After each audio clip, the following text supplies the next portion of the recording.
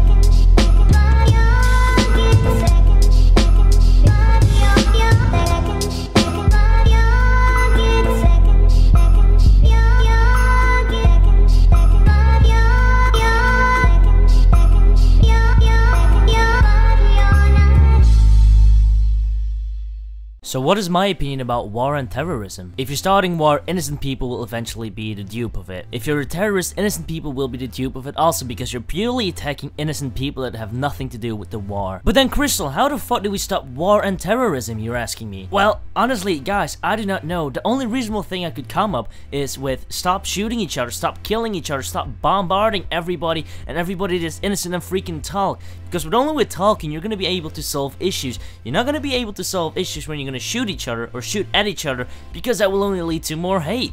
If I would have killed somebody and the next day I would be walking freely on the street and there happened to be a family member on the same exact street that I'm walking on, I'm pretty damn sure that the person of that family member would pretty much do anything that is in his power to do the same thing back to me, if not that, pretty much just beat the living shit out of me just to get rid of his anger. Now anger is a thing that's been driven also by terrorists and what they do is the exact same thing that happened to their family and maybe their people in their area. They are gonna attack people that are also innocent and at the end, they're just gonna try and make everybody afraid and that's what's driven by terrorists. They're just trying to get rid of their anger and making people afraid of them. But should we really be afraid of them? In a certain way, yes, because you do not know who a terrorist exactly could be and when they're gonna be attacking. Imagine you're gonna be eating really nicely at a nice restaurant and then boom, someone is gonna be there blowing themselves up right next to you. Rest in peace, you cannot do anything about it. The chance of that happening is fairly small though, but what we really should be doing is not just sit inside being afraid of them because what they want is to be us afraid. We should exactly do the opposite and go outside and show that we're not afraid of them and then the chance that they will be doing these attacks is going to be way lesser obviously because then they will see there's no point of doing what we're doing right now because they're not getting afraid of us. A perfect example, a few months back there was a Paris attack. They killed a lot of people. The next day, a bunch of people, thousands of people were outside walking through the streets. If they were smart, they could have killed everybody that's there at the place by one bomb. They could have killed so many more people, but did they do it? No, because they were afraid of us, because we were more people than they could expect, and that's why. That's why we should not be afraid and that's why we should be showing strength. Enough ranting about this now, you know my opinion now and I just want to go and ask you guys a few questions and hopefully you will be answering them honestly in the comment section below. Defeating hate with hate only leads to more hate. Another saying about this is, who bounces the ball can expect him back. What do you think about that? Second question, for the past 15 years we've been fighting terrorism, but the result is only more terror. What will you actually do to stop this? Now the third question pretty much is also what's leading to why Kareem made a video about a hashtag stop terrorism. So the question is, Muslims are the biggest victim of terrorism. More attacks happen in Muslim countries such as Iraq, Afghanistan and Syria. Yet tons of people blame all the Muslims for terrorism what they have done. What is your opinion about that? And now the last question. In horrific times, people often show their best side. After the attacks in Brussels as an example, there were many people who were reunited and showing solidarity, and they were called not to hate. What do you think about this? Now the last thing I want to add on to this is stop posting and commenting hashtag stop Islam, instead post hashtag stop war and terror and pretty much be solidarity to the people that has suffered from horrific events in the past, instead of hating on a certain group of people that have nothing to do with terror.